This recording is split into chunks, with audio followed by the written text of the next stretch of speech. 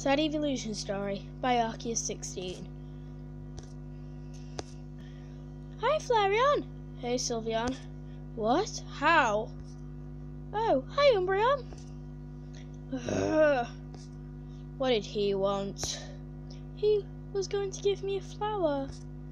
Who cares about a small, worthless flower? It was from Umbreon.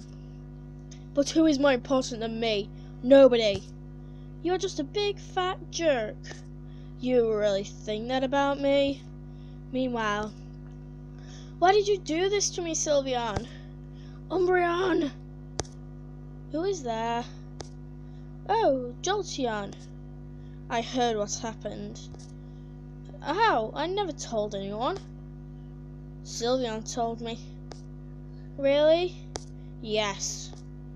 One week later, at Sylveon's house. Huh? Yeah. Ow! Flareon! No! What?